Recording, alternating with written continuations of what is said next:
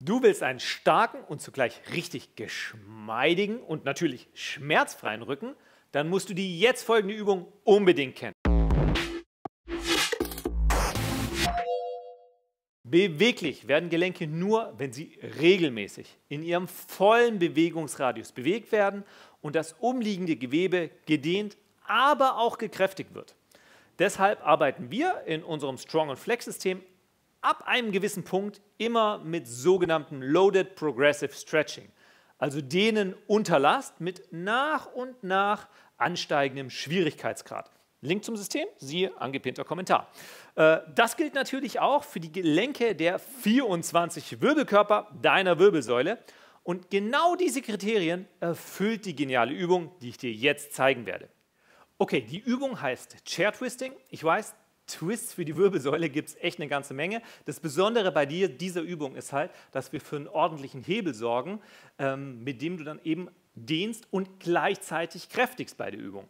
Wir legen uns dazu auf den Rücken, kannst die Beine erstmal lang machen, falte die Hände ineinander und leg sie an den Hinterkopf und dann ganz wichtig, Ellbogen mit auf dem Boden ablegen. Und auch in der Folge der Ellbogen hat immer Kontakt mit dem Boden, der darf nicht abheben. Äh, du denkst jetzt, ja, wo ist die Schwierigkeit? Aber warte mal ab, ist gar nicht so einfach, wie du denkst. Als nächstes, um in die Ausgangsposition zu kommen, atmest du am besten ein, ziehst die Knie zum Brustkorb und setzt dich auf deinen imaginären Stuhl. Das heißt, wir haben in den Sprunggelenken, in den Knien und in der Hüfte jeweils einen 90-Grad-Winkel. Und jetzt darfst du mit der Ausatmung die Knie kontrolliert nach links ablassen und der Kopf geht in die Gegenbewegung nach rechts. Die Ellbogen bleiben dabei am Boden. Beim Ablassen darauf achten, dass ich diesen 90-Grad-Winkel in der Hüfte, in den Knien und den Sprunggelenken immer noch halte. Ein großer Fehler ist, dass du die Knie ranziehst. Wenn du die Knie aber ranziehst, machst du den Hebel auf einmal wieder kürzer und musst nicht so viel arbeiten bei der Übung.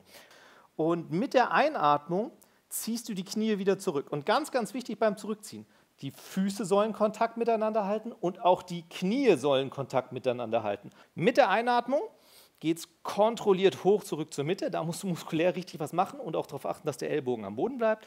Und mit der Ausatmung wieder in die andere Richtung. Knie fallen nach rechts, Kopf geht nach links, 90 Grad Winkel in den Gelenken halten.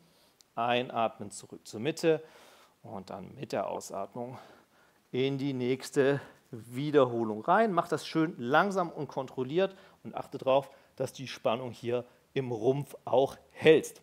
Okay, du machst von dieser Übung insgesamt 10 Wiederholungen, also fünfmal die Beine auf jede Seite und auch nur einen Durchgang, denn diese Übung machst du bitte ganz am Ende deines Trainings. Nicht am Anfang oder in der Mitte, ganz am Ende, dann kannst du vielleicht sogar noch eine Blockade lösen, wenn dein Training vorher ganzheitlich war. Wenn du da Hilfe brauchst, nimm unser Strong- und Flex-System als kleines Navigationssystem, damit du auch immer weißt, welche Übung wann genau denn ihre beste Wirkung entfaltet. Ähm, bitte hinterlass mir doch einen kleinen Kommentar, äh, wie diese Übung hier für dich gewirkt hat. Auch noch ein Däumchen nach oben für das Video wäre schön. Äh, falls du noch nicht abonniert hast, abonniere uns und aktiviere auf jeden Fall danach die Glocke, damit du eine Nachricht bekommst, wenn wir ein neues Video online stellen. Ich bin an der Stelle wieder raus. Bis zum nächsten Mal.